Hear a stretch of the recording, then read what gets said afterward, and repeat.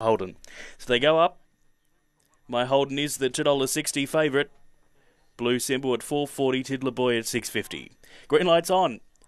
Lure up to the boxes now. This is race number one from Dubbo.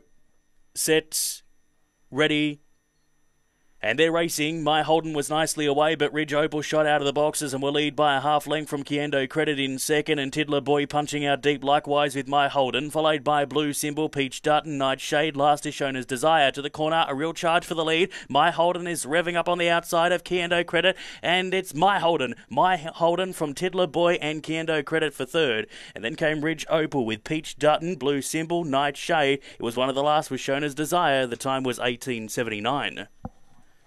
My Holden wins the first, number eight for Scott Watson. Interim results are 8 7 4 1. Three quarters by three quarters the margin, and the time was 1879.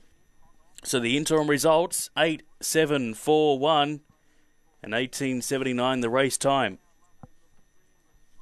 The winner, number eight, My Holden, is a red brindle dog by Superior Panama out of Sesame, owned and trained by Scott Watson uh, was whelped on the 4th of Feb 2022, start four, and win number one.